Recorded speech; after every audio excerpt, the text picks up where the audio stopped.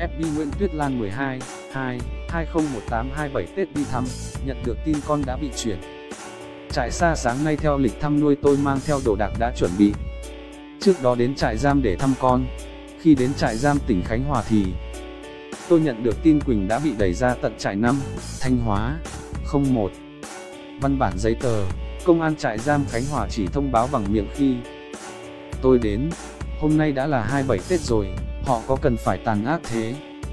Với gia đình chúng tôi, thứ hai ngày mùng 5 tháng 2 năm 2018, tôi đi thăm Quỳnh, họ không một.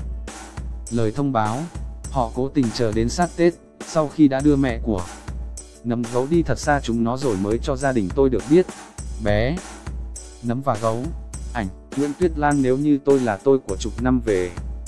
Trước, nếu như tôi không cần phải lo cho các cháu tôi, nấm và gấu, thì dù họ có chuyện con tôi đi đến đâu tôi cũng không quan tâm, tôi có thể đi bất cứ nơi nào để thăm non con mình. Nhưng bây giờ tôi đã hơn 60, không chỉ có cháu nhỏ, con tù mà trên vai còn có mẹ già. Phải gánh, chính quyền này biết rõ điều đó, hơn ai hết, nhưng họ vẫn cố. Tình đầy Quỳnh ra tận ngoài Bắc, sau khi đã giáng lên cả gia đình chúng. Tôi bản án 10 năm tù, trại năm Thanh Hóa khét tiếng về sự heo hút.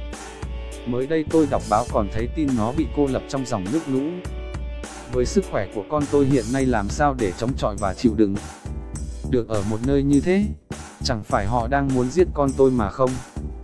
Cần dùng dao súng, muốn nó chết dần trong tù đầy khổ ải hay sao? Bản án 10 năm không đủ khiến họ hả hê, nước mắt chia lìa mẫu tử không? Khiến họ cảm thấy một chút dao động, vào ngày 27 Tết họ tiếp tục đâm. Thêm nhát dao cho chúng tôi bằng chết.